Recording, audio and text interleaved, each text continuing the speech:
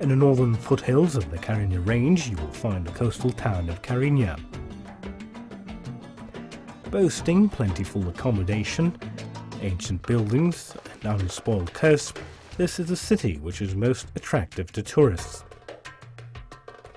Bellapais Monastery still stands in its magnificence in a small outlying mountain village. The monastery was built in the 12th century and is another amazing example of Gothic architecture in the eastern Mediterranean. Bellapais Monastery was built on a small plateau 620 feet above the sea level on the edge of the Kyrenia Range. The name of the monastery means Monastery of Peace, a corruption of the French name Abbé de la Paix. These days, the monastery refectory is used for artistic events, such as concerts by famous musicians from all over the world.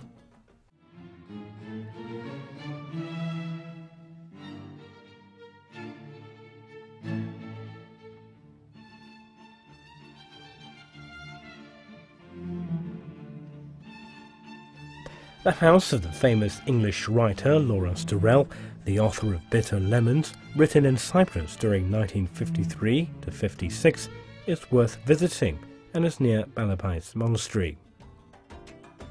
If you go to the city of Kyrenia, you will find another castle skirted by the sea, Kyrenia Castle, the strongest castle in northern Cyprus, bears traces of the Byzantine, Lusignan and Venetian periods. The most ancient merchant ship in the Mediterranean is on display in Kyrenia Castle, bringing you face to face with the very distant past. The modern explanatory animations in the rooms of the castle are designed to make the past come alive. They show the Lusignan dungeons, the Vrysi Neolithic habitations, the Akdeniz village graves, the Lusignan and Venetian towers, to name but a few. One of the most popular places for visiting tourists is the old Kyrenia harbour beside the castle. All along the edge of the harbour, there are restaurants sharing their fortune with fishing boats and yachts. Many of our newly wedded guests from all over the world partake of the charming environment of both Kyrenia Castle and harbour. There are many factors that make Kyrenia a rich city. Churches and mosques, beaches with a variety of water sports, rocky coasts, and accommodation in unspoiled bays are only a few among many examples. If anyone wants to look down on Kyrenia from a higher position, it would be enough to pay visit to the picturesque village of Karmi, clinging high in the skirts of the Kyrenia Range. You can frame your authentic Mediterranean photos with bougainvillea blossoms in Karmi. The last castle, located at the highest point of the mountain range, is St. Hilarion Castle, giving visitors a bird's eye view of Kyrenia. St. Hilarion Castle is one of the most magnificent castles still standing.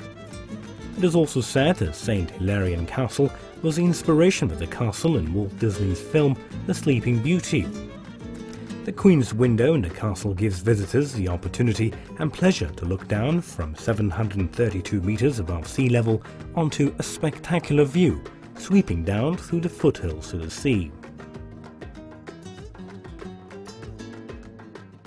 After you leave the western end of the Kyrenia Range, you should pay a visit to the unique Maronite village called Koruçam or Kormacit. The Maronites settled in Cyprus approximately 1,200 years ago. At present, in general, Maronites live and scattered in different villages, except for this lovely village in northern Cyprus where the population is entirely Maronite. Before 1974, there were almost 2,000 people living in Koruçam, but now there are only hundreds who remain. Agios Georgios Church in Kormacit is a special symbol for Maronites, although the architecture is unexceptional but it's the most important place of worship for the Maronite community in Cyprus. Every Sunday, Maronites from all over the island flock to Agios Georgios to attend to the service. The village is unique in that the mother tongue of the people who live there is Aramaic, influenced by Arabic. They are Maronite Catholics by faith, and they speak both Turkish and Greek. Leaving Kormacit village and journeying parallel to the west coast, you wind through the Mediterranean pine forests. Then the forests give way to vast areas of amazing orange groves. The main city here is called Güzelyurt. Agios ah, Mamas Church is one of the principal treasures of the city and it is dedicated to a saint of the region. It was built during the Byzantine period and was rebuilt during the Lusignan period. When the Ottomans came, some additions were made to the church, which is famous for its wood carvings. The icons and frescoes in the church are very interesting.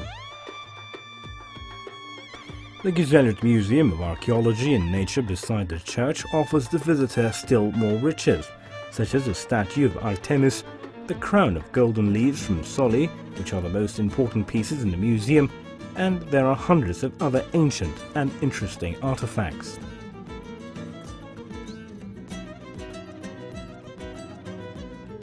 While Güzelyurt arrests your attention with the rich green of its orange groves, Lefke stands out with its historical background and its tranquility.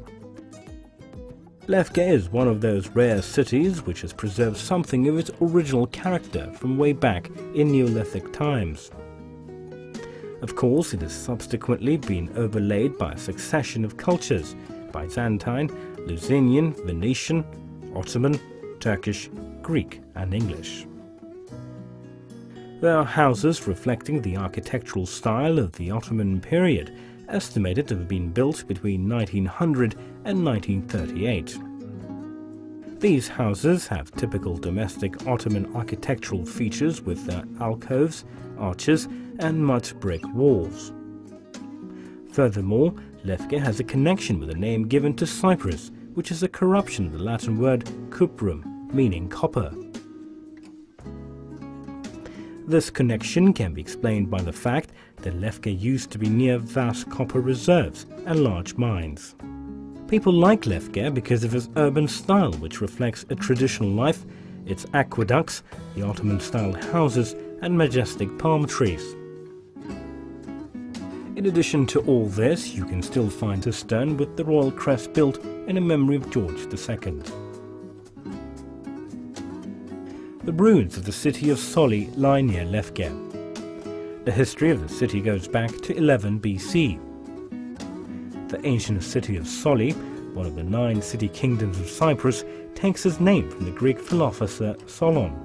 The real attractions of this city are its Roman amphitheatre and the ruins of the Great Basilica with its beautiful mosaic floor.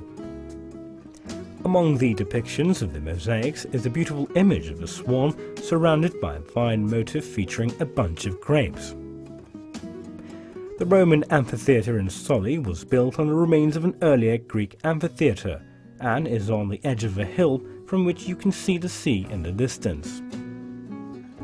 The seats for the audience are partially carved into the rock of the hill. Originally, the theatre had a seating capacity for 4,000 people. The Persian palace of Vouni was built to the west side of Soli. Apparently, the residents of Soli burned the palace to the ground, so today we must content ourselves with just the ruins of Vouni Palace, built on the flat top of the hill, with a breathtaking beautiful view over the sea. The palace had 137 rooms and was built by the Persian supporter, the king of the city kingdom of Marion, in order to spy on Soli, which had allied itself with the Greeks.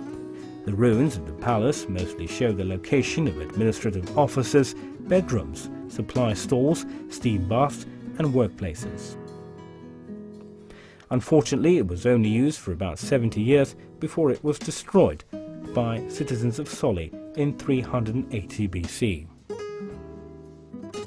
If you look to the west from the hill of Vouni, you can easily see the unsullied coastal village of Limnidi, or in Turkish, Yeşilırmak. The advantage of Yeşilırmak is its location. It is located in the far west of northern Cyprus. The rocky island outcrop near the coast has no connecting point with the land, but it is where Cyprus's first inhabitants settled in Neolithic times. The village is located in a green valley and is famous not only for its taro and strawberry fields, but also for orchards of a wide variety of fruit trees. Yeşilırmak's genuine source of pride is its special grapevine, with religious bunches of Verigo grapes acknowledged in the Guinness Book of World Records as the biggest grapevine in the world. Northern Cyprus, with its 260,000 residents in five main regions, continues to be a multicultural treasure trove. It is a country that one should visit at least once in a lifetime. If you want to be a part of this living history, and if you want the contentment of being both in the Mediterranean and being an islander, please make sure that you follow up this invitation. Northern Cyprus is the country where the sunshine never ends.